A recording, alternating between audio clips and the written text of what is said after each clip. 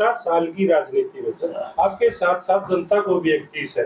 आपको मुख्यमंत्री बनने का मौका नहीं मिला। जबकि जनता ने आपका हमेशा समर्थन किया। तो क्या 2024 में एक बार फिर चौधरी वीरेंद्र सिंह दमदार तरीके से लड़ाई लड़ेंगे?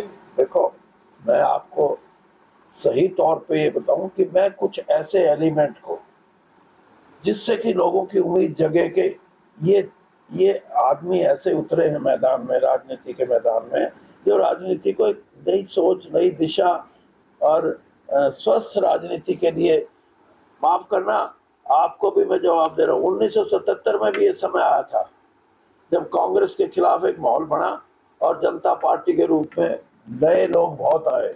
लेकिन मैं नाम नहीं लेता, मेरे को सबका पता है। सतहत्तर में मैं भी एमएलए था और वो भी एमएलए थे।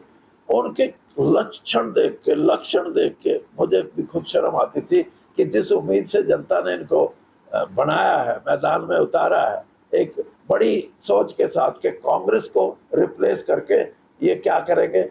लेकिन अ, लोगों की उम्मीदें पूरी नहीं हुई और इसीलिए दो साल में वो पार्टी टूट गई। तो इसलिए मैं ये कहना चाहता हूँ कि एक प्रयास है मेरा प्रयास अब वो नहीं है जो आप कह रहे हो। मेरा प्रयास ये है कि मैं कम से कम एक व्यवस्था में एक ऐसे आदमी खड़े करके जाए जिसमें यह कि भाई वीरेंद्र सिंह को तो मौका नहीं मिला लेकिन इसने आदमी ठीक तार दिए ये।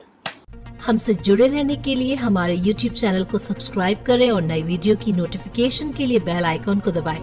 अगर आप ये वीडियो Facebook पर देख रहे हैं तो लाइक ज़रूर करें और ज़्यादा से ज़्यादा शेयर करें धन्यवाद